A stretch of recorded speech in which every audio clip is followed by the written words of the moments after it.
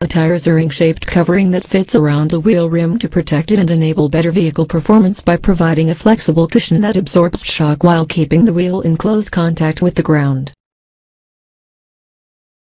The fundamental materials of modern tires are synthetic rubber, natural rubber, fabric, and wire, along with other compound chemicals. They consist of a tread and a body. The tread provides traction while the body ensures support. Today, the vast majority of tires are pneumatic comprising a donut-shaped body of cords and wires encased in rubber and generally filled with compressed air to form an inflatable cushion. Pneumatic tires are used on many types of vehicles, such as bicycles, motorcycles, cars, trucks, earth movers, and aircraft.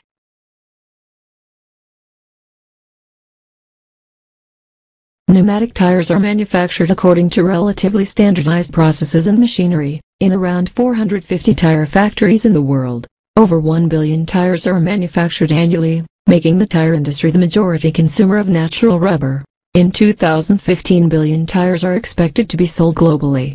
Tire factories start with bulk raw materials such as rubber, carbon black, and chemicals and produce numerous specialized components that are assembled and cured.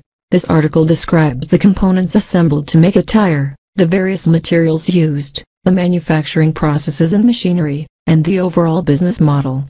In 2004, $80 billion of tires were sold worldwide. In 2010 it was $140 billion. The top five tire manufacturing companies by revenue are Bridgestone, Michelin, Goodyear, Continental AG and Pirelli.